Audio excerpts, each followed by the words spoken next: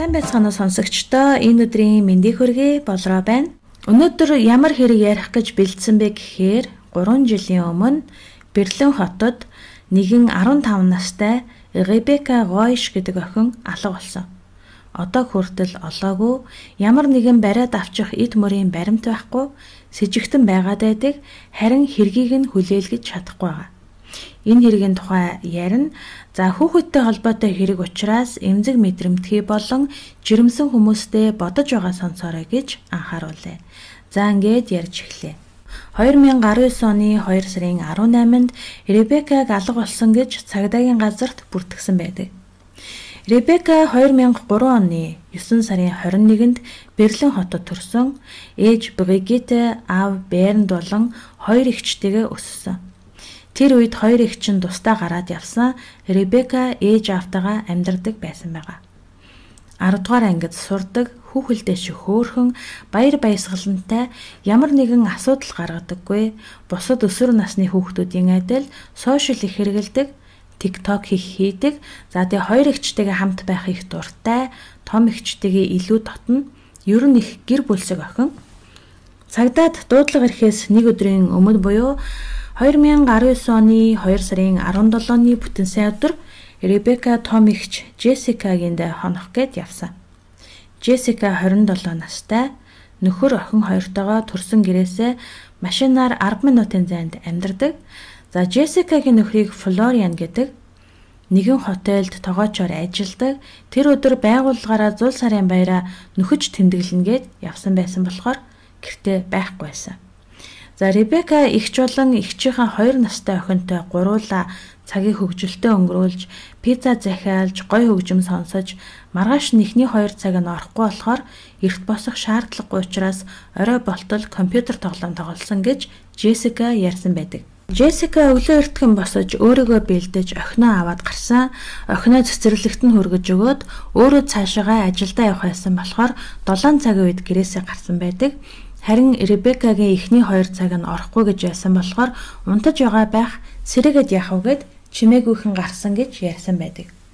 Ээж нь өглөөний 7 цаг 15 минутын үед Ребека руу унтчихсан юм биш байгаа даа гэж залгатал холбогдохгүй байсан болохоор нь эгчрөө залгаж асуусан. За Джессика түүнийг 9 цаг 50 минутаас эхний цаг нь орно гэж хэлсэн байдаг. Ээж нь Ребека руу 8 цаг 25 минутанд дахин залгахтал утас нь мөн л холбогдохгүй байсан. Тэгэхээр нь Флориан руу залгаад залгахтал өөдөөс нь тасалсан гэдэг. Харин удалгүй Флориан түүн рүү залгасан байхыг нь хараад эргүүлээд залгасан. Тэгээд Ребекаг байна уу хараад өгөөч утсаа авахгүй юм унтчихсан юм биш байгаа да гэж хэлсэн. За Флорианы хэрхэн доошогоо шатаар бууж зочны өрөөлөө орж байгааг утасны цаанаас ээж нь сонсож байсан гэдэг. Флориан зочны өрөөний хаалгыг онгойлгож хараад Ребекаг байхгүй гэж хэлсэн. За ээж нь охинлууга 8 цаг 42 минутанд сайн уу хөөрхнөө сургуулиасаа хоцроогүй үсттэй утсанд ч холбогдож чадахгүй байна. Үнсээ гэж WhatsApp-аар бичсэн. За зураас хүлээж авсан гэсэн хоёр зураас гарсан мөртлөө Ребека ерөөсөө уншихгүй байгаад байсан. Уг нь Ребека байнга онлайн байж идэг, дор нь хариу бичдэг юм байна л да. Тийм болохоор ээжийнх нь санаа нь зовж эхэлсэн гэдэг. Ребека 16 цагт хичээлээ тараад 20 орчим минутын дараа гэхэд гэртээ ирчихдэг. Гэтэл тэр өдөр ирэхгүй удаад байсан. Тэгэхээр нэг найз руу нуцтаад асуудал Ребекаг өнөөдөр ерөөсөө сургууль дээрээ хараагүй гэж хэлсэн. За тэгэнгүүт нь шууд сургууль руу нуцтал өнөөдөр ерөөсөө хичээл дээрээ ирээгүй болж таарсан. За бүх найзуудаас нь асууж сураглаж Ребекаг хайсан боловч хаанч байхгүйсэн. За тийм болохоор цагдаад мэдгдсэн байгаа. Тэр өдөр ирлийг шууд эхлүүлсэн. Эхлээд тэр хаваараа плакат нааж сошиал медиа дээр зургийг нь тавьсан. Их олон удаа шеэрлэгдсэн боловч одоо сураг гарахгүй байсан болохоор 3 өдрийн дараанаас Ребекагийн алга болсныг орон даяар зарлаж ирлийг эрчимжүүлсэн байна. Хамгийн сүүлд хамт байсан хүн болох хүргэн ах Флорианыг хамгийн түрүүнд сэжиглэж түүнийг шалгасан байдаг. Хоёр дахь сэжигтэн нь гэвэл Макс За Макс бол одоо түүний онлайн ертөнцийн найз нь. Гурав дахь сэжигт нь болохоор Ребекагийн сайн найз Лукас. За Максыг Ребекаг алга болсны дараах нь өөрийнхөө аккаунтыг устгасан байсан болохоор сэжиглэж шалгаснаас гадна за Ребекаг түүнтэй уулзах гээд явсан гэж бодцгоосон харин шалгалтын үр дүн түүнийг сэжигтний тоноос хассан байна. За Лукасын хувьд гэвэл Ребекаг алга болохоос өмнөхөн тэр хоёр хэрэлдсэн байсан болохоор түүнийг шалгасан. Харин Лукас Ребекагийн алга болсонтой ямар ч холбоогүй болж таарсан. За ингээд ихний сэжигтэн буюу Флориан тунаж үлдсэн байгаа.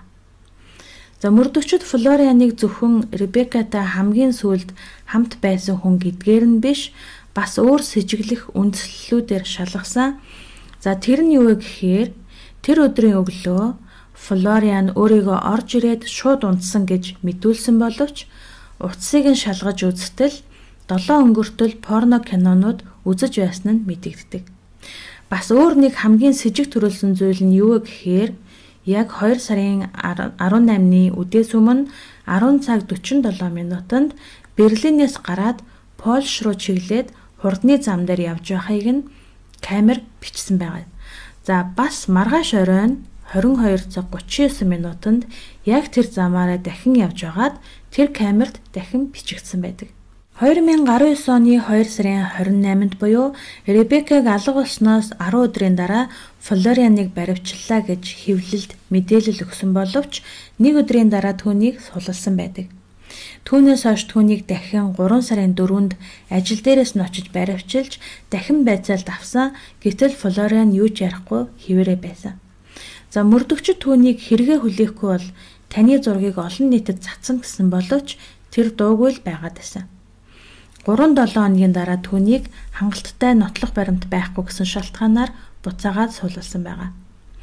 Харин гэрийнх нь тэр чигээрээ Флорианы ард зогсож исэн. Одоо ч хэвээр байгаа. Флориан манай хүүл гэсэн үг. Манай нөхөртэй их адилхан зантай. Ребекатай ч ихсэн ойлголцдог байсан. Ийм юм хийх ёсгүй гэж хэлсэн. Харин ээж нь мөрдөгчдөд Ребекагийн хувцас, утас, төрөвч, зургийн аппарат болоо эгчийнх нь гэрээс ягаан өнгийн бүтээлэг алгуулсан гэж хэлсэн. Хамгийн сонирхолтой нэг найз нь Ребекаг өөрлөө 7 цагийн үед Snapchat-аар нэг зураг явуулсан. Яг хичээлдээ явах гэж байгаа юм шиг хувцалсан гэж хэлсэн. За Snapchat-аар хүмүүсийн явуулсан зураг тэр дороо бүрэн устгагддаг болохоор тэр найзад нь мөрдөгчдөд үзүүлэх зураг байгаагүй. За Бас нэг сонирхолтой зүйл гэвэл Ребекагийн гар утсыг ерөөсөө олоогүй. Харин тэр өглөөний 7 цаг 46 минутанд эгчийнхээ гэрийн интернетэд холбогдсон байдаг. 3 сарын 7-нд Ребекагийн алга болсон эргийг XY Action саяхнаар оруулсан.